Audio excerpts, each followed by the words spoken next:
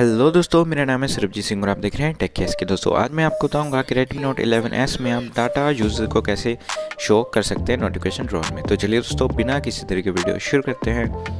इसके लिए दोस्तों, आपको सबसे पहले ये पुराना वाला कंट्रोल सेंटर लेके आना है। इसके लिए आपको सेटिंग्स में जाना है। सेटिंग्स में जाने के बाद दोस्तों, आपको नोटिफिकेशन एंड कंट्रोल सेंटर पर क्लिक कर देना है। इसके बाद आपको कंट्रोल सेंटर स्टाइल पर क्लिक करना है।